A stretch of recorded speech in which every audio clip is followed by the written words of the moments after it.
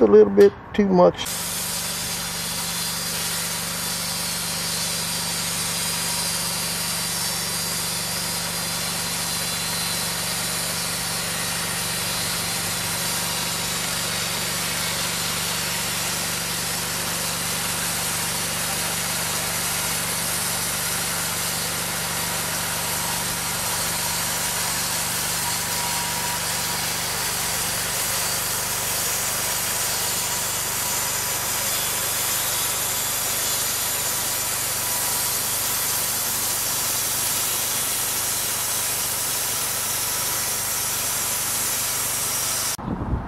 Well, we made the first cut.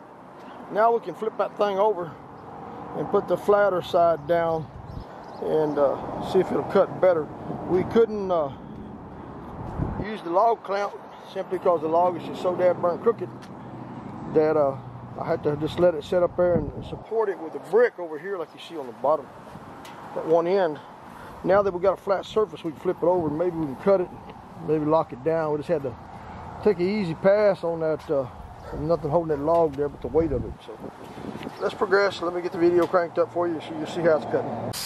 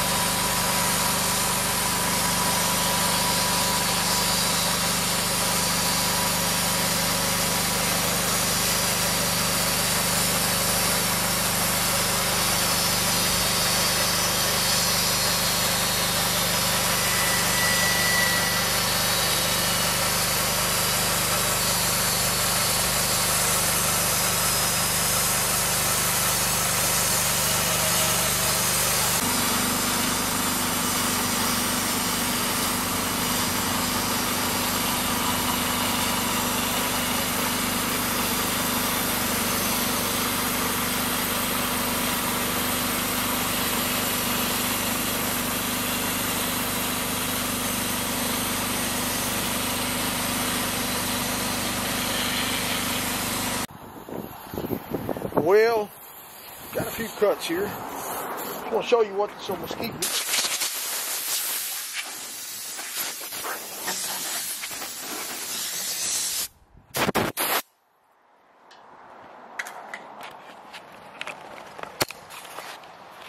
Now mesquite wood may not be the prettiest wood to a lot of people out there. There we go out there. We go. I kind of change my camera settings a little bit to really reflect a little bit more of what the wood looks like. Yeah, it's kind of a peachy center with a lot of grain patterns in there. Really pretty nice. Now let me get it flipped over. See if I can show you the other side of it. It's dirty on that side, Rex. I haven't done nothing to it. But anyhow, that's what mesquite wood looks like.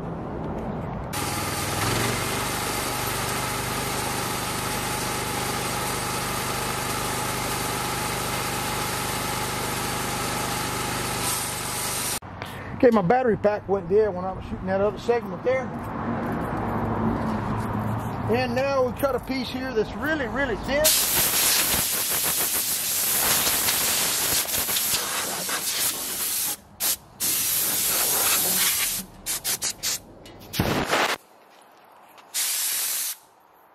Cut a piece that's real thin because I wanted to see if the sawmill was going to cut a pretty even cut. Now we're going to let put this up here where you can see it. Hopefully you can see that right there. See if I can see it. Okay. It's pretty thin and it's pretty even all the way from one end to the other. So that's a pretty thin, nice cut you got off of that homemade saw. Wow, pretty amazing.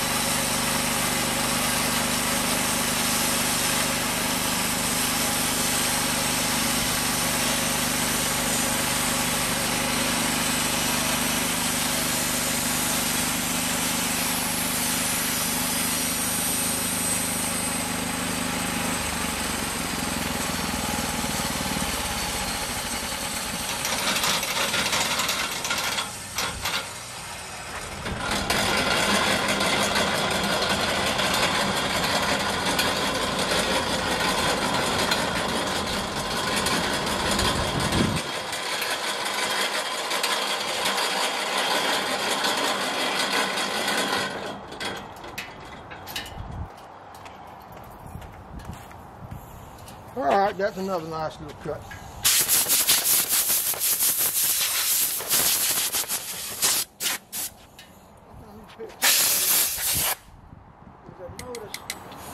Blade walking back on its side a little bit.